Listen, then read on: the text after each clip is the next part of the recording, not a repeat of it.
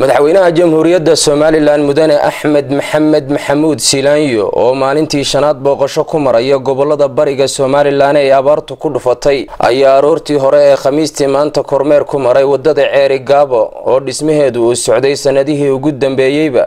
Kormeerka madaxweynuhu waxa uu ku soo beegmay xilli dhismaha wadadu uu ku socdo xawligii ugu sarreeyey waxaana heegan ku jiray dhammaanba shaqaalaha waddada iyo gaadiidka kala duwan ee lagu fulinayo hawsha dhismaha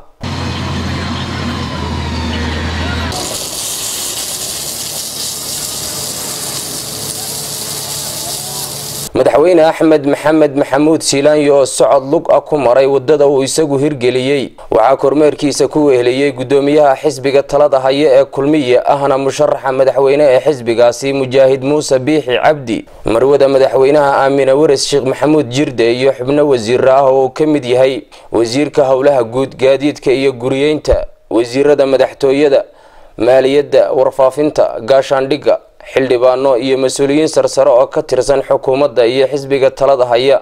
Maareeye ku-xigeenka wakaalada horumarinta waddooyinka somalilan ahna maareeyaha mashruuca dhismaha waddada ceeri gaabo iyo injineerka guud ee gacanta ku haya dhismaha waddada oo ugu horeyn madaxweynaha sharaxaad ka siiyey habsamo socodka hawsha waddada waxa ay si isku mid a u xaqiijiyeen in dhismaha wadadu uu xawaare sare ku socday tan iyo intii la hoos keenay wasiirka howlaha guud ee somalilan. Mudane madaxweyne waxaanu ku rajo weynahay in ilaahay inaku guuleeyo dhammaystirka oo aad xarigga ka jirtid maalin dhow. Waxa weeye way dhammaatay. Waddadii ceergaabo iyo hadday isku xidhantay ceelaf weyn waxa weeye waddada saddex boqol oo kilomitir ah oo cid ku dhiirata la waayey. Maanta ilaahay waa keen inoo fududeeyey. Waa alxamdulilahi rabbialcaalamiin madaxweynaha qaranka waa madaxweynaha qaranka ayaa hawshaa hormuudka ah oo inoo waxa weeye inoo ku dhiiriyey. Hawshaa cid kasti ku dhiiran weyday mudan madaxweyne booqashadaadii hore ee tan ka horraysay waxaad noogu timiday waddada oo maraysa leeyarka koowaad hal leeyar ee ceelaf weyn. Daamurkuna markaa wuxuu ahaa wax yar buu ahaa dhowr kilomitir baa ilaa toddoba kilomitir buu ahaa. Muddo koob iyo toban bilooda shaqada aannu qabannay shaqo waxa weeye aad iyo aad u lixaad leh.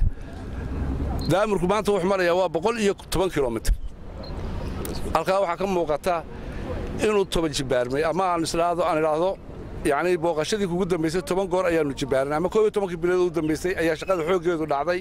Wasiirka howlaha guud guriyeynta iyo gaadiidka somalilan mudane cali xasan maxamed cali mareexaan oo hadal kooban ka jeediyey goobta waxa uu ka warramay halka ay marayso hawsha waddadu islamarkaana waxa uu iftiimiyey farqiga u dhexeeya markii isaga lagu wareejiyey meeshii ay maraysay dhismaha waddadu iyo halka ay maanta marayso ilaa ceerigaabo ilaa halka aynu joognaa waa laami.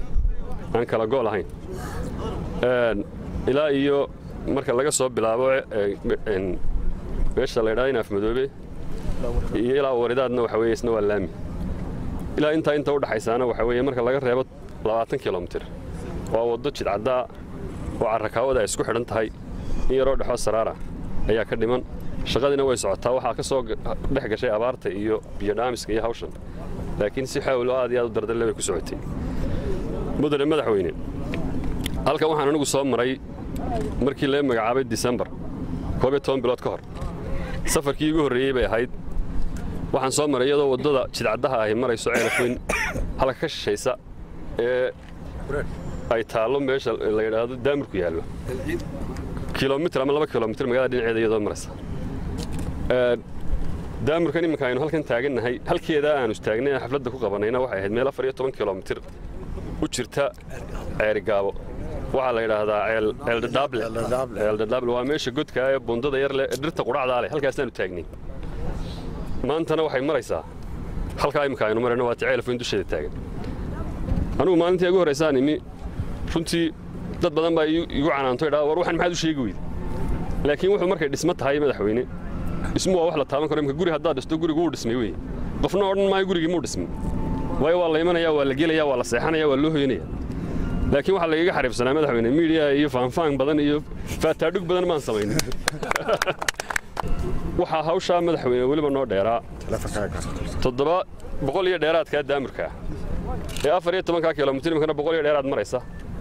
Waxaa noo dheeraa deyn oo ay tahay runtii in la sheego oo aan la qarin madaxweyne waxaana lagu wareejiyey oo garhka lay geliyey shan milyan lacag gaadhaysa oo dayna oo maanta ka hor aanan ka hadal. Waxaa kale oo goobta hadallo ka jeediyey wasiirka warfaafinta dhaqanka iyo wacyigelinta somalilan mudane cismaan cabdilaahi saxardiid cadaani iyo guddoomiyaha gobolka sanaag axmed cabdi falay oo madaxweynaha ku ammaanay sida uu ugu dhiiraday dhismaha waddada isku xidhaysa gobolka sanaag iyo somalilan inteeda kale. Maalintii dhagaxayna fadooyna dhigayna aan ku qiiroonayey waxaan arkayay ummaddu inay arki doonto waxa soo socda.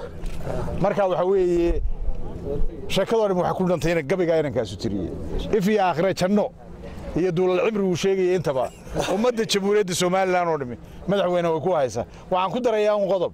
Wasiir cali intii uu yimi waddadu dardergelintii iyo xoogga ay qaadatay ilaahay unbaa og. Yacni mar quray take off runtii qaadatay guddoomiyaha xisbiga kulmiya ahna musharaxa jegada madaxtinimo ee xisbigaasi mujaahid muuse biixi cabdi oo isna goobta ka hadlay waxa uu hambalyo u jeediyey madaxweynaha jamhuuriyadda somalilan oo rumeeyey riyadiisii ahayd in gobolka sanaag loo sameeyo waddo ku xidha waddanka intiisa kale. Waxaynu tusaa waddada in dadku hadduu isu kalsoonaado aragti wanaagsanna yeesho inaynu wax walba qabsan karno somalilan ahaan waxaanaynu ku hambalyaynayna mar labaad madaxweynaha oo fishikaa inagu hogaamiyey wasaaradda howlaha guud oo hadda gacanta ku hayso iyana sanadkan aad dadaashay. Madaxweynaha jamhuuriyadda somalilan mudane axmed maxamed maxamuud silaanyo oo gebagabadii hadal kooban ka jeediyey goobta waxa uu sheegay in muddo dheerba uu ku hamiyeyey dhismaha wadadan muhimka waxaana uu u mahadnaqay cid kasta oo ka qayb qaadatay dhismaheeda. Kulligeen farxad weyn bay inoo tahay inaynu maanta ka soo qayb gallo waddada tan eragaabo aynu arkayno ahmiyaddii halkay marayso. Waxaan leeyahay isgaadhsiintu aad bay muhiimad weyn leedahay dalka oo dhan. Waddana eragaabana in badan baynu ku fikerinay in badan baynu howlgelinay in badan baynu maalgelinay. Meel wanaagsanna waa inoo maraysaa waxaan jeclayn halkan hambalyo ballaadhan uga soo jeediyey in alla intii ka qayb gashadoo dhan kamariyaasha ka shaqeeyey iyo dad ka shaqeeyey iyo wasaaradii ka shaqeeyey iyo cid alla cidda howlahaas oo dhan meel kastaa noqotee gacan ka geysatay intaba ilaahay nala qabto dalkan iyo dadkan meel wanaagsan ha mariyo aad iyo aad inkastoo waddanka laga hirgeliyey waddooyin tiro badan tan iyo intii uu xukunka qabtay madaxweyne axmed maxamed maxamuud silaayo haddana jidka ceerigaabo waa jidka ugu hadalhaynta badan islamarkaana hantida ugu badan ee ay gashay. Nuuridiin cabdulaahi colijoog iyo ciise shiine telefishinka qaranka somalilan ceerigaabo